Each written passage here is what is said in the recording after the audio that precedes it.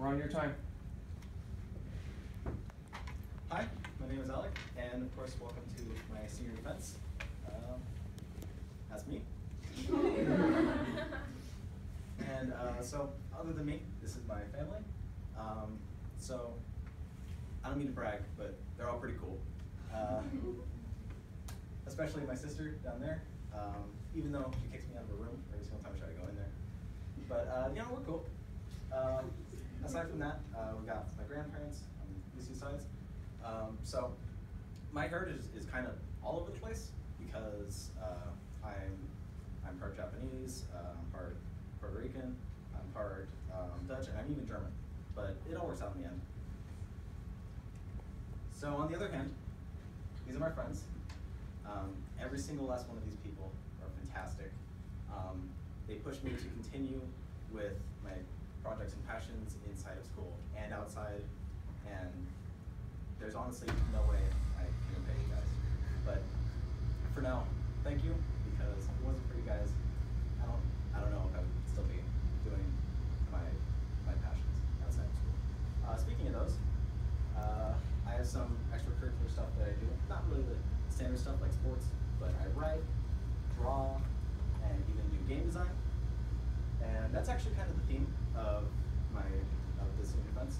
Uh, it's all visually at least based on what's been my main passion project ever since sophomore year. Well,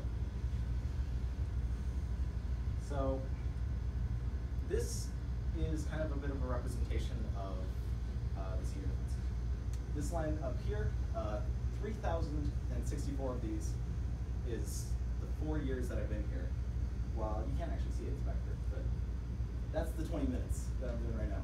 So we got a lot of stuff to cover. Let's get started. Uh, I have done more than grow as a student at Gojo uh, I've gained skills, social and mental, for the real world. Uh, they're skills that I'll be able to employ in my professional endeavors and also in my personal life. Ultimately, I have grown as a person. Though there's a catch.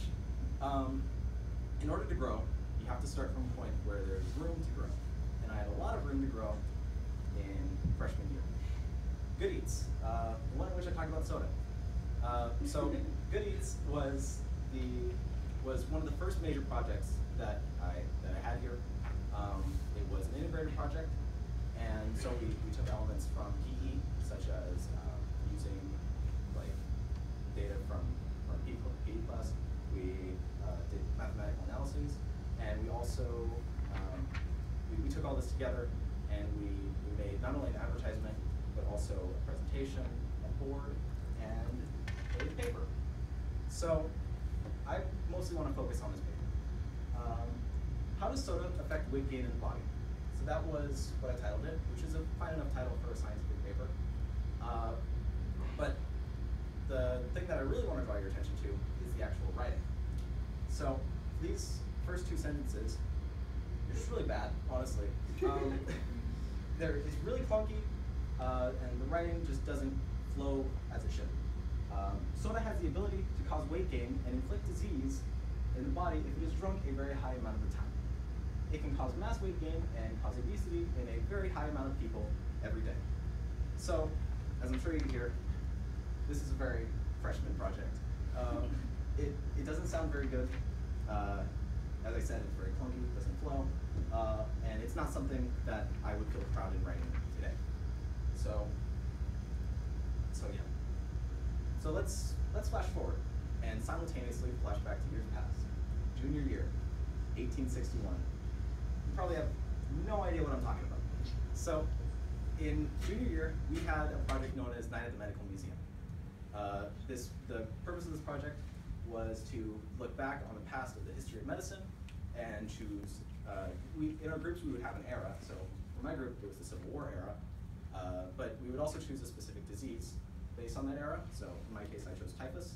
And typhus is actually a group of diseases, uh, not necessarily one specific disease, ranging from pretty mild and treatable to absolutely murderous.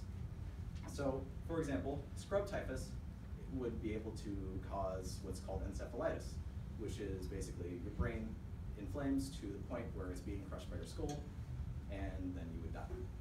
So obviously that's bad. Um, but nowadays there's all tons of uh, antibiotics and treatments that would deal with it. But back then it was much more of a big deal. Uh, just like with Good Eats, I'm going to focus on the paper that I wrote for this. Uh, it was actually journals that we wrote in character for the, the time period and the disease. So, uh, just as an example, Dear Journal, I haven't written in a while now, have I? It certainly doesn't help there's only one page left in my journal. A lot has happened since last time, surprisingly enough, not a lot of it was fighting. So this was a man in the Civil War, or not a real man, but obviously uh, fictional. Uh, he was basically he, went to the war. He he came across the typhus disease and eventually had to be hospitalized. And this is him on his deathbed. So uh, the idea is that the writing is not only a lot more smooth in in like how it's written, but obviously unlike the Good Eats writing, it it's just better, really. Uh, it's not as clunky. It comes out better, and it, it it's much more precise to what I meant to say in what I was writing, rather than being just verbose for the sake of being verbose. So, just because I was able to improve in my text writing, which actually, uh, something that, that I should specify is that actually, it, writing in text with like this is super important for the for pretty much any career, but much more specific to my case, uh, where I'm going to be going into computer science, where I'm going to have to do coding. Uh, every single last letter down to the dot has to be precise and correct, or else it will break the entire system. So writing like writing and making sure that I'm precise in what I mean is extremely important for me. So that's, that doesn't mean that I'm, that's, I've necessarily gotten much better in my speaking though, just because I've gotten better in text. So let's look at this project. Uh, the Shakespeare Project, senior year. Um, and so for this project, we had to choose a play and basically read through it. My group chose Macbeth, which was actually a really lucky pick because we ended up reading the book almost immediately after we selected it. So that's kind of beside the point though. Um, so we, we chose Macbeth and we had to make a video uh, that would kind of be that would that would follow two specific scenes from the play. It's actually two separate videos technically. Uh, and then we would make a presentation that would surround these these videos. The presentation was was the core of the presentation was essentially the videos because everything leading up to and after in the presentation would um, would be build up to explaining what's what's going on in these scenes. So for example, we would have a family tree where we would explain like all the different character relations and how they know each other. And then afterwards, we would ask questions about, to make sure that the viewers were engaged and following what we were talking about in these scenes and shown. So I think I did really well on this project. It wasn't perfect, but it was definitely one that I enjoyed. Uh, but I would say my main claim to fame in this project was the was the acting and the and the voice acting that I did. So basically, I did a voice like this to show Macbeth and, and his character and all that, right? So this guy, he was he was very he was very to the point. He was like, I talk like this, you know what I mean, right? So the idea is that in, in being able to to specifically talk in a certain way in addition to saying lines shows that um, I'm I'm able to not only like write well uh, as shown in the other one, but also I can speak in a very pointed way and make sure that I'm getting the point across, along with even getting across themes if need be. So, uh, actually, in this project, we also I also I also edited the video. So um, I personally use Movie Maker for, for my editing. There's better software out there, but that's what I use. Uh, and and I actually I actually spend a lot of time doing video editing. Uh, I, I have a personal YouTube channel that I that I upload videos that I make in my spare time for. But the thing is, I haven't always been good at making videos. Uh, sophomore year Spanish. Uh, this is honestly one of the hardest classes I've had throughout these years here at Dozier Libbey. Uh, mostly because I kind of suck at learning languages, honestly. Uh, yeah, it's been. Uh, so the the thing was, we had a project where we had to make a music video.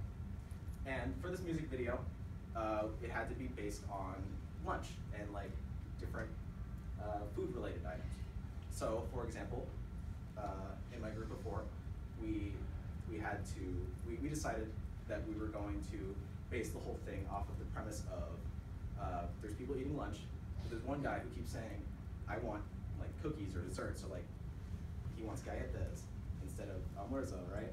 So then the rest of the people are like, no, we're eating lunch, we're gonna eat lunch. we don't we don't want cookies right now.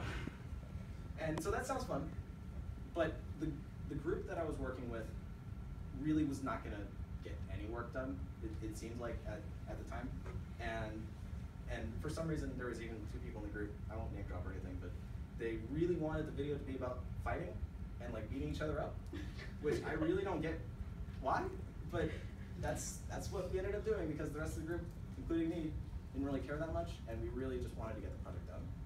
So we have scenes like this where he's just throwing him on the ground, uh, and other scenes like doing weird parkour stunts, like jumping off of a bench. Uh, so yeah, so what I figured was maybe I should try to figure out how to get this project to work, right? So I was like, well, we could sing over the video. We could have the, the singing that we were doing overlaid over it with the music and also the video. And I figured it's a music video that should work. Uh, but if I had actually read the rubric better, I would have known that we were actually supposed to be seen singing in the video, not just over the video. So that was kind of uh, a failed attempt at problem solving because I really should have paid more attention and and the, and the group didn't really mesh well at all. Just a lot of issues came up with this project. So maybe I could prove myself in the project that is almost entirely about figuring out unique solutions. Uh, so CLUE, otherwise known as um, constitutional links using ethics and evidence. Uh, the idea was we had to solve the murder case of a Mr. Lucius Libby uh, with six distinct peers, all as primary suspects for his murder case. We had to look through tons of evidence and figure out who could have done it. So, uh, for example, one of the one of the first pieces of evidence that came up was whether or not, or which which floor he could have fallen from uh, from uh, the hotel building that he was staying in. Uh, there was also a smashed window in the hotel building, and nearby there was blood in there was blood in his car. So it was so in addition to that, we were able to put that together with this to find that he was probably in the hotel. Uh, so we knew that he was in room 308. So we had kind of a good idea that he was on the third floor, but we wanted to make sure by checking the math to see if he could have possibly fallen from the third floor. We had seen that his his fall had when he was falling, he had to have reached somewhere between 10 and 20 meters per second. And we know that the formula right here, final velocity squared minus initial velocity squared equals 2a final distance minus initial distance would answer that. So we used the final velocity, we, we found, we were trying to find the final velocity. Uh, we had the initial velocity, which was zero, because he started from the top. Uh, we had the, we had the 2a, then we had the final distance and the initial distance, which was that each floor up was about three meters up in velocity. So putting all that together, we used that to to show that it was entirely possible for him to have fallen from the third floor of the building. This was just one of many pieces of evidence that we found in Clue. Uh, mixing that together with a ton of other pieces of, of evidence that we had gathered together, and in addition, we had talked about um, due process laws in in um, in econ in government. We, we pieced all that together, and we had to make a presentation and a video showing how it was all done.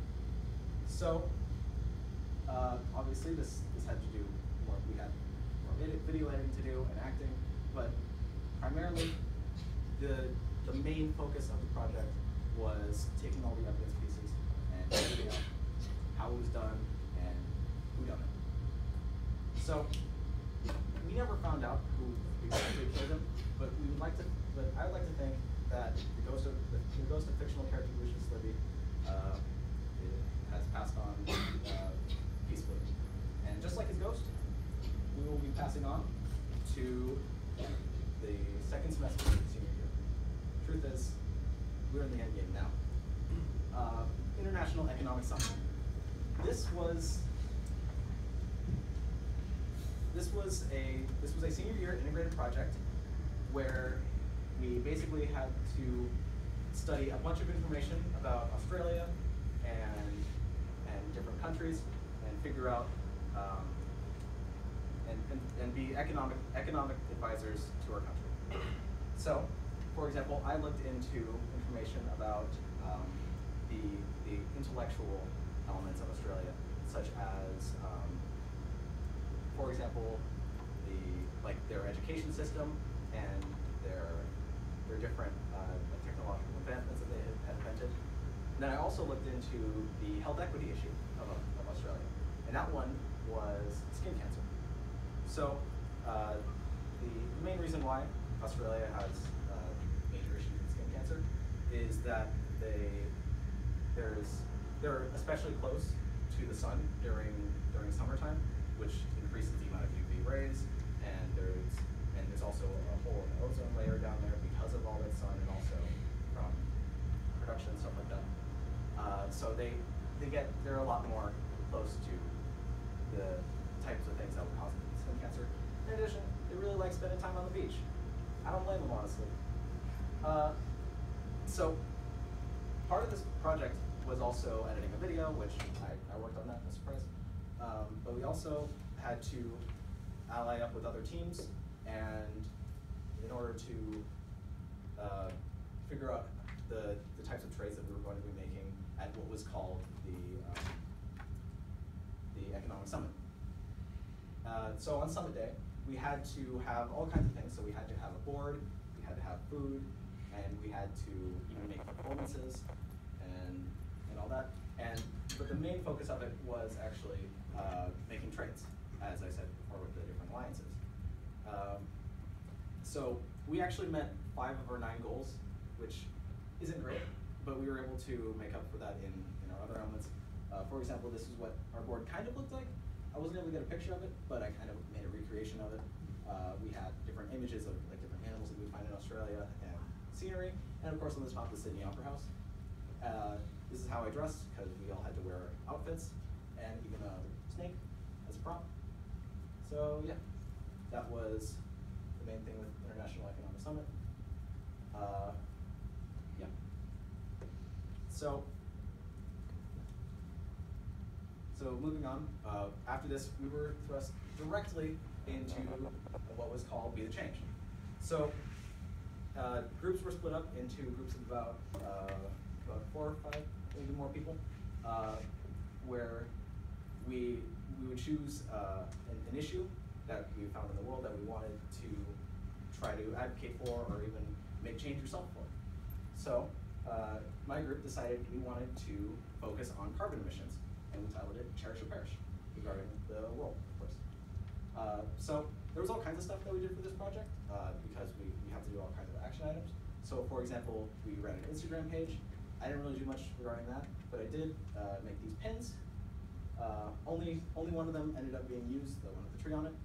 But uh, yeah, and I would have a pin on me, but I forgot it at home. It's all right though. Um, so the other thing that we did was the, this was the more major thing that we did was we we created essentially kind of a garden using succulents. So we so we would plant them in here after removing all the dead plants from that planter box because lot of dead plants. Uh, and that was our that was the most major thing. And actually, throughout the entire time that we were working on it, there were actually other students here at the school that were that were helping us out, which I found actually kind of surprising. But it was, it was really great to see that we were able to help lead our community in in trying to try to improve things like the spider box. Uh, so after that, we we led up to what was the Pechakucha, and the whole premise of that was that we had this presentation, we all made our own slides, uh, where it would automatically move to the next slide after 15 seconds, and we would talk through it and explain everything that we did. Uh, personally, there's actually one part where I got cut off, but like luckily it was like right at a point where I was able to continue on and it was perfectly fine. So with one lucky break in the bag, we were able to finish this project, and this was the second to last senior project, leading us back to here, senior defense in the present day. And soon enough, it'll be the future. Um, I plan on going to LMC. Uh, I don't know what four year I plan on uh, changing to af- uh, after LMC, but hey man, that's that's what uh, community college is about. So I plan on figuring that out. Uh, I plan to major in computer science. Uh, if, it, if that hadn't become clear throughout the other parts of my presentation. So um, throughout these years here at, at Dozier Libbey, I feel like I've been able to really improve my skills in in like helping to like lead people and creating and like communicating with others and scouring up information and figuring out like like for example, if I were to write a story or or make a drawing where I need like inspiration for stuff, I, I could find it on the internet or whatever I need to find out. And even just using technology in general and being able to put forth like being able to use computers and such in ways whenever it comes up. So